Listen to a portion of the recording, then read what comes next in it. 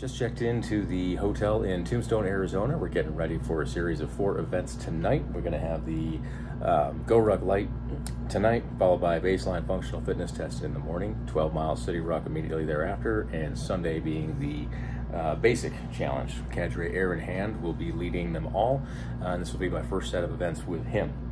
So, for about a three day weekend, packed most everything down into the event ruck. This is the GORUCK uh, 25 liter Rucker 4.0. The uh, simple sandbag, all of my weight plates uh, to swap in and out for the different events are in the car. So I kind of just use that for cargo. the gym bag, uh, 38 liter Cordura version was just on sale for like a ridiculous price. And that is working really well as a sidekick and just a dump bag. There isn't much to it, so it's not really worth a walkthrough. It's a 1000 D nylon gym bag. And then the Yeti Roadie 24 cooler fits very well in the car. Uh, the tray works out really well in there. And for one guy to get through a couple days of events, this should do it. So we'll get some more uh, updates as we start completing some of these events and do little AARs.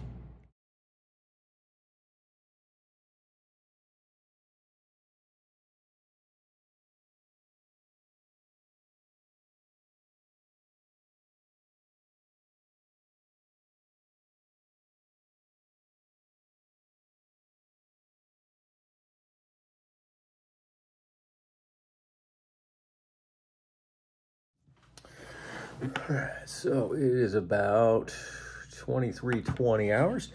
We are done with the uh, the first of four events for the uh, GORUCK Tombstone weekend. So this was the light uh, that we just got through with uh, Cadre Hand. So about three hours as advertised. Used my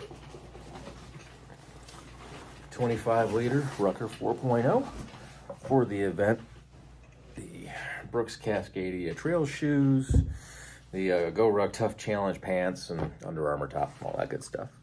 Uh, so, good event, fun event. Um, it was the first of the uh, the light since they've kind of redone these uh, events that I've done. Um, still a good time. So there was some uh, introductory uh, fun with this event where we did the the bag dump, which I had always made sure to like prepare for for every challenge that I've done, and it never happened until this one when I wasn't really expecting it to happen. So we're really good at uh, playing the packet dump it game right now. Uh, source bladder uh, sprung a leak, uh, which I have to kind of figure out here to get through the rest of the weekend. First time I've had a source bladder uh, go wrong, so we'll have to workshop that before the morning.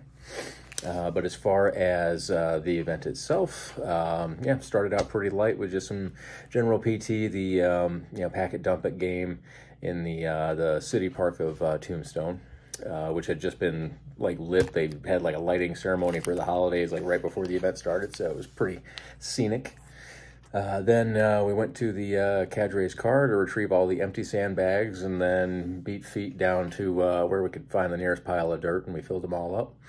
Uh, there was one long uh, movement through the town uh, to the outskirts to the uh, the fire station. Once we got to the fire station, there were uh, nine of us total. So each one of us had to come up with an exercise, nine total exercises, and then three rounds of those exercises. So a little little training out there right at the fire department. So it was like bear crawls, lunges, thrusters uh, overhead flutter kicks, the dead bug, uh, bent over rows. There was a squat in there somewhere, some swings, and then uh, I think the the plank drag throughs. Probably forgetting something in there, but uh, yeah, little PT smoke session. Uh, on the way back, we got into uh, two columns, and they were doing it kind of what they used to call Indian run style. The two rear people will break off and come to the front, and we kind of did that for a bit.